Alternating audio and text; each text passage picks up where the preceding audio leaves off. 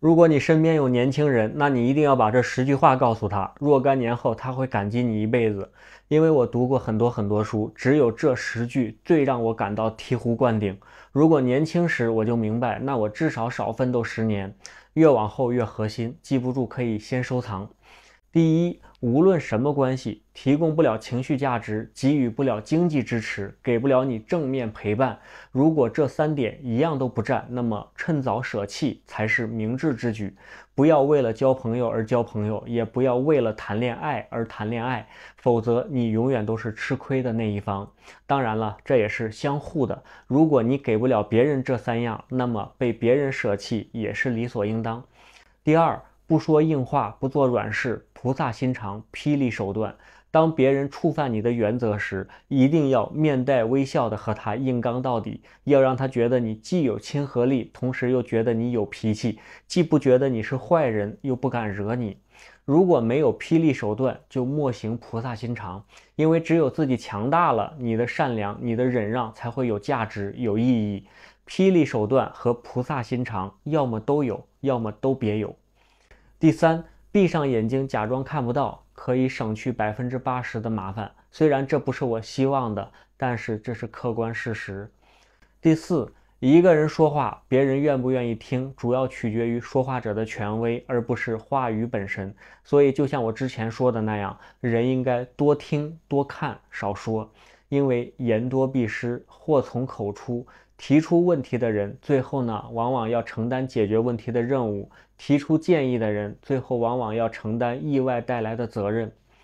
第五，忘掉人脉二字。所谓社交的本质，其实就是价值交换。如果你既没有本事，又没有资源跟别人交换，那所谓的人脉其实就是个笑话。与其一天到晚的四处搞社交，不如踏实下来，提高自己。因为世界上最稳定的人脉，其实就是各取所需。第六，任何反常的、超预期的、难以理解的事件，都是我们调整自己对客观世界认知的良好机会。因为既然已经发生，就说明它一定是有道理的。如果我们还是抱着过去的认知，觉得不可思议或者不认可，那只会使我们失去一个提高认知的好机会。就比如我们身边突然有一个我们原以为他的做法很扯淡的人，可结果是他成功了。比如那些我们觉得像小丑一样的网红，我们应该做的不是不服和惊叹，而是要好好的想一想他为什么能成功。通俗的讲，就是不服高人有罪。第七，你身边的大多数人，甚至包括你的部分亲人，其实都是盼着你失败的。虽然他们内心可能很爱你，但不妨碍盼着你失败。因为你一旦太优秀，就容易与他们拉开差距，从而就会失去控制。我最早看到这句话的时候，不到二十岁，当时简直觉得就是一派胡言。到了三十岁的时候，虽然还是不太愿意承认，但是已经没有反驳的勇气了。到了四十岁，不但不会反驳，反而还会主动的说给别人听。这大概就是老话说的“人教人百言无用，事教人一次入心”。只有经历过，才能深刻体会。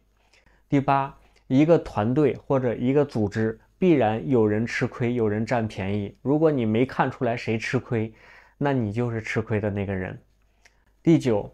一个人想要变成熟，首先要做的就是克制自己好为人师的欲望，不要总想着纠正别人或者指点别人，因为你自以为的指点，在别人眼中可能是指指点点。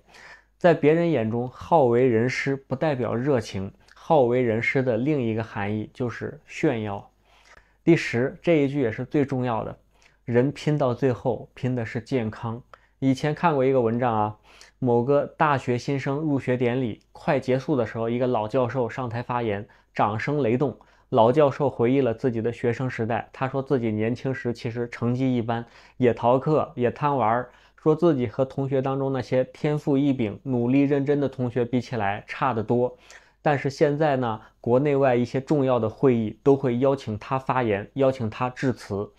最后他说：“你们知道为什么一个学术能力不算突出的人，却仍然能够登上学科的顶端，获得所谓的成功？这成功的秘诀是什么？”